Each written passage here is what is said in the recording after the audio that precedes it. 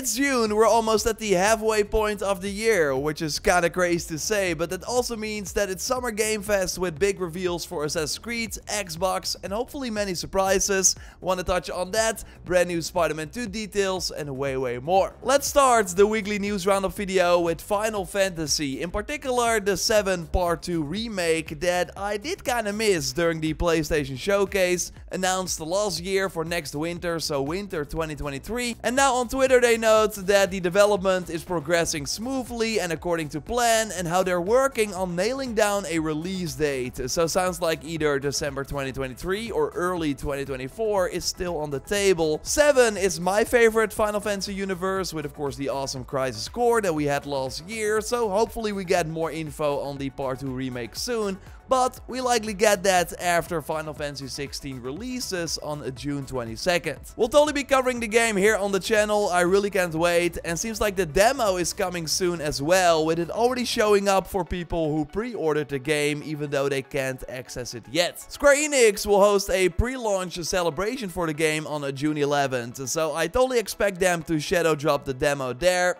Let me know if you're looking forward to Final Fantasy 16, and again, expect tips and other spoiler-free coverage here on the channel. Of course, we're going to do a ton of Spider-Man 2 videos as well. Check out our gameplay trailer breakdown via the link in the video description if you haven't already. And we actually got some new info since that gameplay reveal. I was, for example, kind of missing the jokes in the footage. Well, creative director Brian Intihar assured us that there will still be a good balance between those darker themes and characters, but that they will also be delivering a very human story where there's a lot of heart and humor. So while a big part of the game will obviously be about Peter slowly losing losing himself, which will then also impact the relationships around him. The game will still have plenty of charm, Insomniac is known for, as well as the human stories of the people behind their superhero masks. I think that's good to hear, because we did not really see that yet. We also learned that with Queens and Brooklyn now added to the map, the map size is about two times larger than the previous games. And we of course saw that during story missions, the game dictates who you play and when you switch from Peter to Miles, while in the open world, you can, with one press of the button, switch between both characters. There are some Peter and Miles specific missions,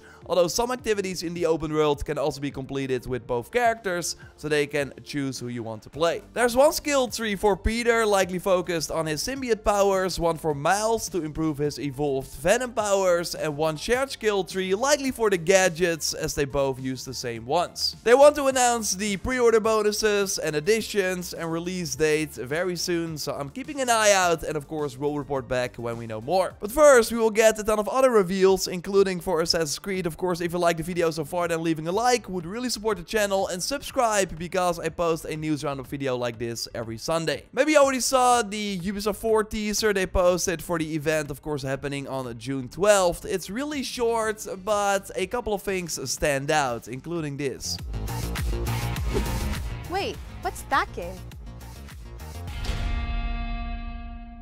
So yeah, they're teasing some unannounced stuff, with of course the rumors circulating that it could be Ubisoft's Star Wars game that is seemingly planned for 2024, so we might see it at the event. What we know for sure though is that the Crew Motorfest will be there with new leaks suggesting that all your Crew 2 cars will carry over, and also leaks from beta testers have been really positive, saying that the game already seems finished, so I expect a release quickly after the event. Avatar Frontiers of Pandora will also finally get new gameplay and hopefully a release date as the game should be out in 2023 or early 2024 and by watching the show live on my Twitch channel you can by the way earn a weapon trinket for when the game launches. And you get this a Twitch drop during the first 15 minutes. So it makes me think that they will start with Avatar and I really hope that the gameplay convinces me. Like I want this game to be good but so far I'm not not convinced yet. So hopefully they surprise us. And going back to those Twitch drops, because you can also earn a Eugene Raven skin for Assassin's Creed Valhalla, the parrot skin that was already in the game from like a while back, an old item pack. More interesting though is the Oasis Initiate of Alamut dye for Mirage, so a color skin for our outfits, which is pretty cool.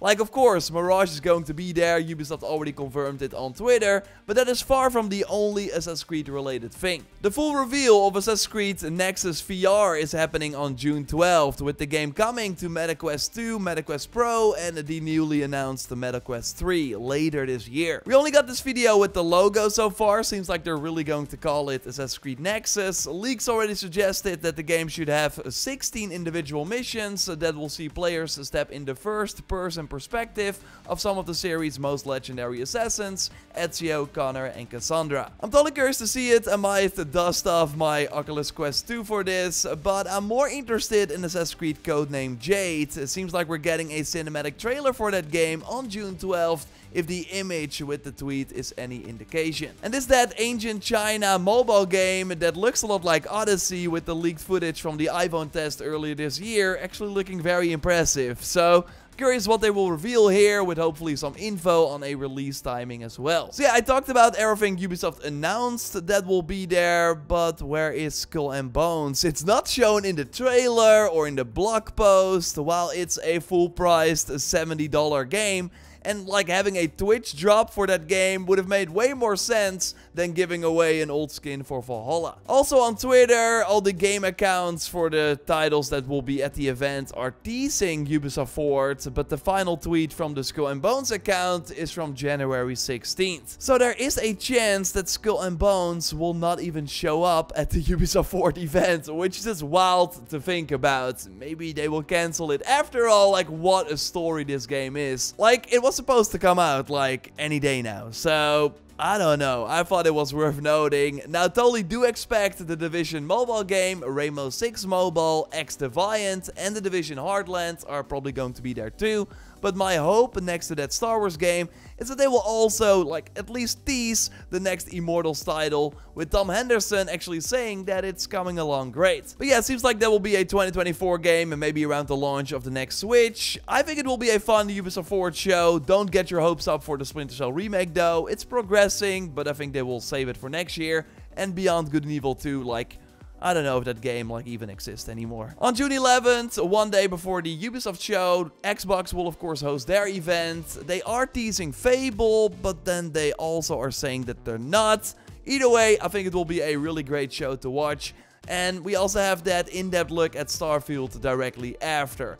I will leave links to all our live reactions in the pinned comments, so you can already set a reminder. And of course, follow us on Twitch for the Ubisoft Forward uh, Twitch drops. But our first live react will be for the Summer Game Fest kickoff show on uh, June 8th with Geoff Keighley. Mortal Kombat 1 gameplay reveal will be there, a gameplay demo for Alan Wake 2, and a new look at Lies of P has already been announced.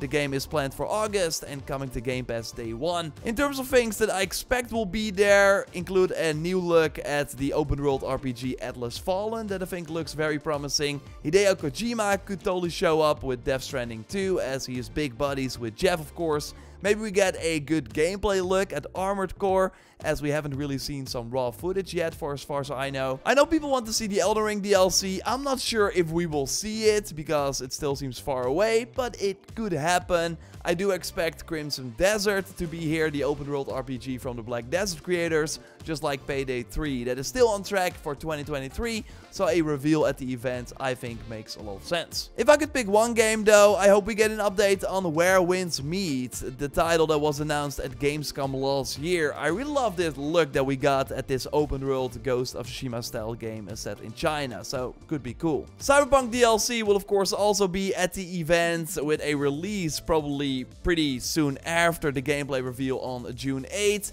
And we now also learned that The Witcher 3 sold 50 million copies, and that's insane.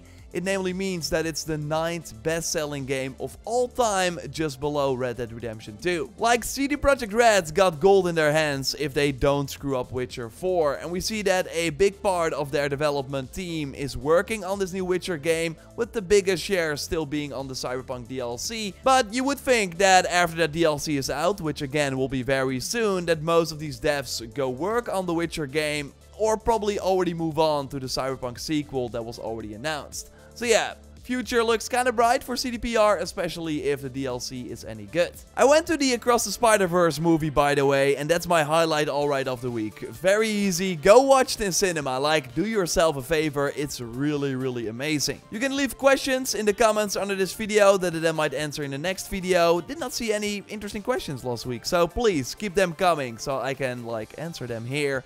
And this coming week will of course be all about Diablo 4. I'm really having a blast with the game, so expect tips and tricks. And we will be live reacting to all the summer Game showcases. Again, links to those in the pinned comment. And of course, we'll make videos on those as well. So yeah, the next Sunday video will maybe not be on Sunday because, again, the Xbox show and the Ubisoft show are like on Sunday and Monday just keep it posted. I will like put up a video like this, but it might be like in a different time frame. Then after that, we will be back every Sunday. So subscribe to not miss it. A like on the video would of course really help me out. And check out my previous video on the PlayStation Showcase and my thoughts for if you haven't watched it yet by clicking on the screen. I will speak to you soon. Goodbye.